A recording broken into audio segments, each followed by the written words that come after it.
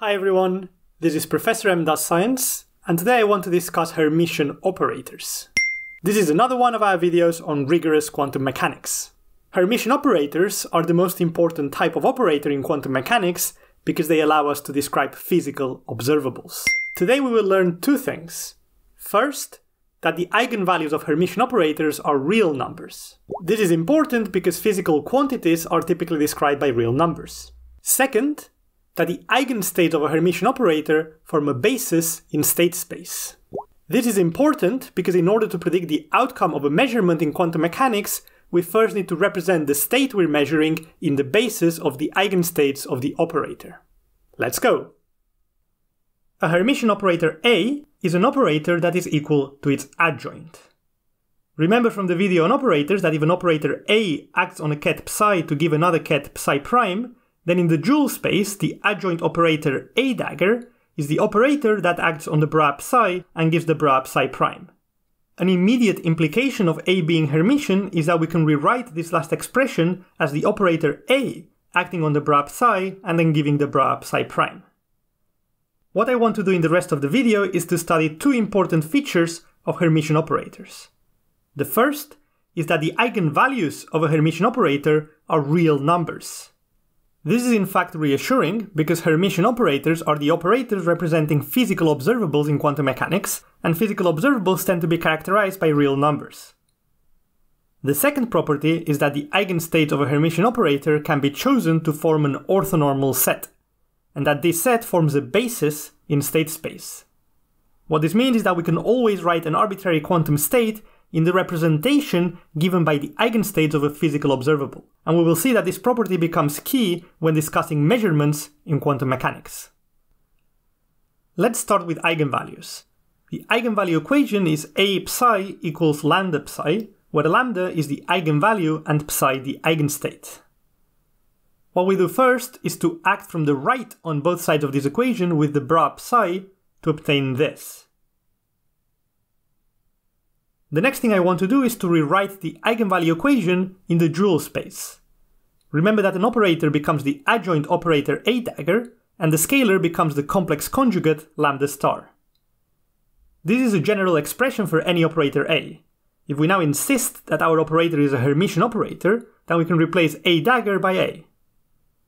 The final step is to act with the ket psi from the right, and we get this. The left-hand sides of these two equations here and here are the same, so the right-hand sides must also be the same. Equating them leads to this equation here. Remember that the scalar product of a ket with itself is a positive number, and it is only zero for the trivial case of the null vector psi equals zero. This means that in general this bracket will not be zero, so that lambda star must equal lambda for this equation to hold. This in turn implies that lambda is a real number. Therefore, the eigenvalues of a Hermitian operator are real numbers. Let's now move to eigenstates. We consider a first eigenstate psi with eigenvalue lambda, and the second eigenstate phi with eigenvalue mu. The first scenario we look at is when lambda and mu are different eigenvalues. The first step is to operate with the bra phi on the first equation to get this. For the second equation, we start by transforming it to the dual space. And remember that A is Hermitian, so we don't need the dagger, and mu is real as we just proved, so we don't need the complex conjugate either. Then we operate with the ket psi to get this. The left-hand sides of these two equations are the same, so we can equate the right-hand sides to obtain this. Because for now we're working with lambda different from mu, then this can only be true if the bracket between phi and psi is zero. Therefore, the eigenstate of a Hermitian operator corresponding to different eigenvalues are orthogonal. What this means is that if all our eigenvalues are different, then all eigenstates are mutually orthogonal. So we can normalize them and form an orthonormal basis of our state space. What we will see in the rest of the video is that this is true even if lambda and mu are the same.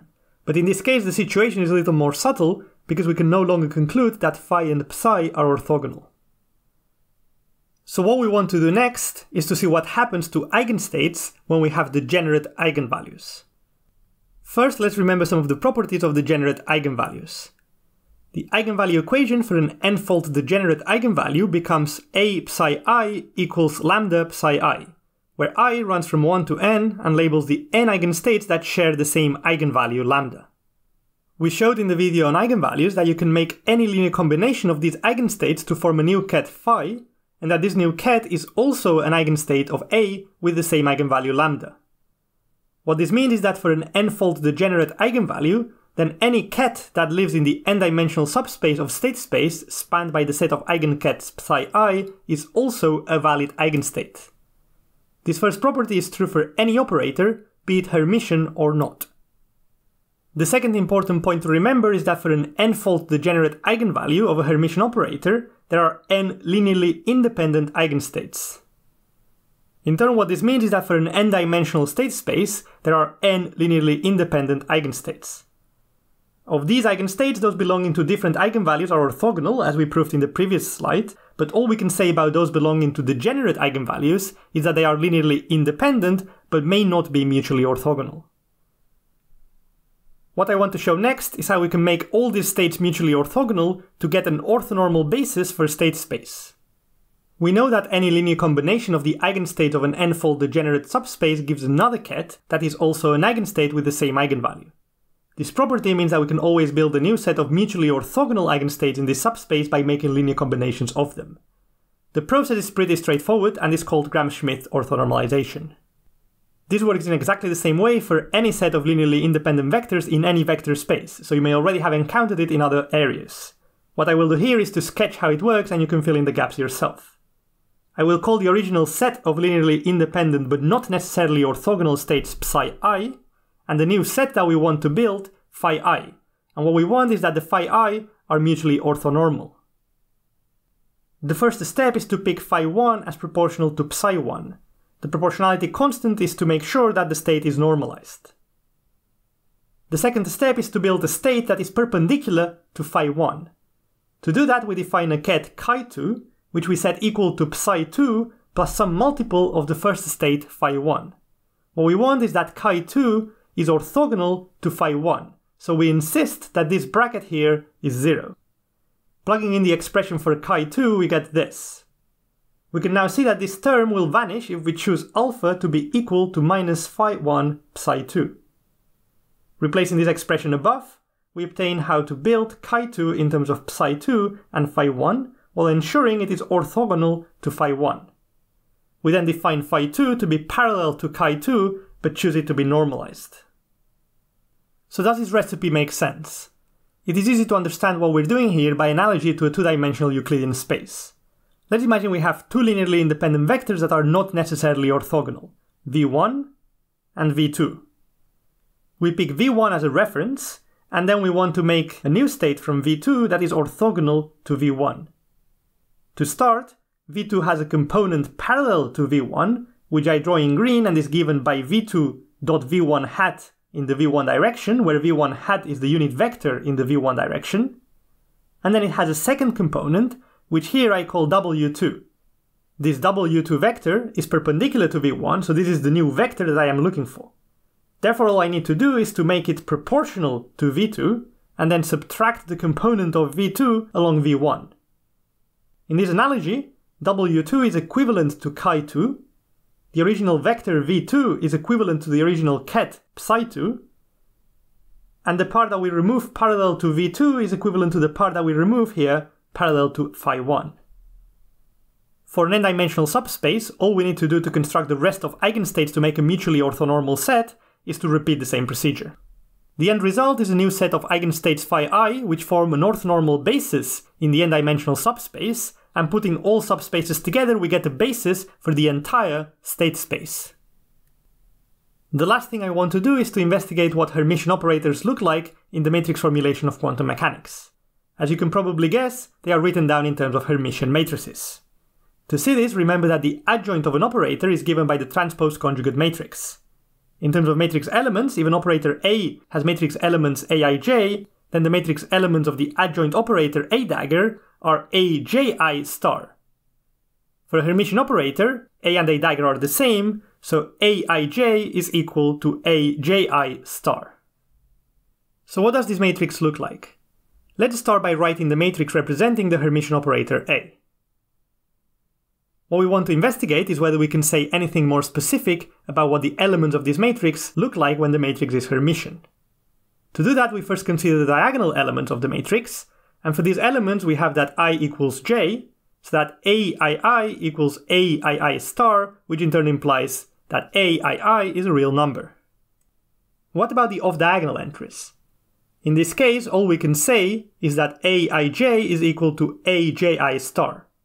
For example, the a12 element here must be the complex conjugate of the a21 element here. This means that the matrix of a Hermitian operator A first has diagonal elements which are real numbers, shown in green here, and then there is some relation between the entries on either side of the diagonal. If this is entry A12, then this entry here is A12 star. The same happens for A13 and this entry here, and so on. What we just found about how to write down a Hermitian operator in the matrix formulation of quantum theory is true irrespective of the state space basis in which we write the operator. However, we have found earlier in the video that the eigenstate of a Hermitian operator can be chosen themselves to form a basis. So natural question that arises is whether there is anything special about the basis formed by the eigenstate of a given operator.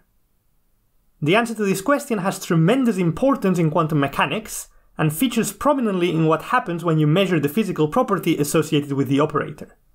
You can learn more about this by following the link in the description below, but all I want to do here is to show what the matrix associated with A looks like when we write it in the basis of eigenstates of A. Let's start by writing the eigenvalue equation for A, and I will pick the eigenstates phi n to be orthonormal. So what does the operator A look like in the phi basis? Its matrix elements are given by this expression. We can then use the eigenvalue equation to determine the action of A on phi n, and plugging this back in gives this. Then, using the orthonormality relation here, we obtain lambda m delta nm. What this means is that the matrix elements vanish unless n equals m, which means that the matrix is diagonal. Furthermore, the diagonal entries are simply the eigenvalues of the operator A. So let's write down the matrix. Remember that we found that the matrix associated with the Hermitian operator had real entries in the diagonal. This is clearly true here, as the eigenvalues of a Hermitian operator are real numbers. Remember also that the off-diagonal elements were complex conjugates of each other, and this is again true here in a trivial manner as all these entries are zero. Putting this together, the matrix associated with an operator A is diagonal when written in the basis spanned by the eigenstates of the operator, and the diagonal entries are simply the eigenvalues of the operator. Before we wrap up, let me emphasize that this result is something that we will encounter time and again in quantum mechanics, so make sure you're comfortable with it. So what have we learned about Hermitian operators? These operators have two properties which are essential when we study quantum mechanics. The first one is that their eigenvalues are real numbers, and the second that their eigenstates form a basis in state space. Both of these properties become fundamental when we study measurements in quantum mechanics. If you want to see how this comes about, check out the videos on measurements. If you liked the video or you'd like to send me suggestions for future videos, please subscribe.